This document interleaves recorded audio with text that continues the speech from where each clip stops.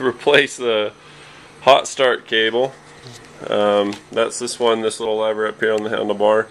Uh, it's real easy to get this part off. You just pull these back and uh, get yourself some slack. You push it forward and then as you look from the underside and get a good clear shot of that, just take the slack and you just slip that down out of there. And then once you do that, it'll just pull out through the other side. And there's a slit on the front side where the cable goes in. I know that's not the best detail, but uh, that's the best this poor little flip camera can do in a close-up.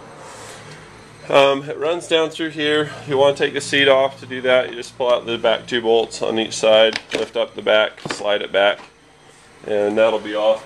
You want to pull out the bolts on each side of the tank on the shroud. I like to pull the tank up out of the plastics because that way I don't have to mess with my radiator, radiator braces or anything. When you get down to this part, um, it goes into an elbow like this, and then the elbow's got a little plastic screw in uh, portion here.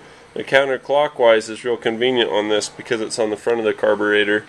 To get to that, you just take either, what I did is I use needle nose pliers and you stick them down on the carburetor. This is the part that it goes into, but you just kind of pry it back. You can use a screwdriver or whatever and just use it as a lever. You just put it in close up to the face of the carburetor and scroll it. Remember, it's plastic, it's brittle, it's hollow, so be gentle but you just engage these little teeth, you unscrew it out, and the whole thing will pull out. Once you get it out, you got to use two hands to do it, but you pull the spring back, and then with the spring pulled back, the let's see if I can get a good shot of it. With the spring pulled back, you can uh, get this little brass piece off, and then it'll pull up out of the elbow. When you buy the new one, it just looks like this. There's just a tiny little nub on the end of it. Let's get some slack off. But, uh, yeah, I probably could have staged this a little better. My apologies. but basically, you just got this tiny little nub, and you just uh, load the elbow over it. You load the spring on it, and then pull the spring back.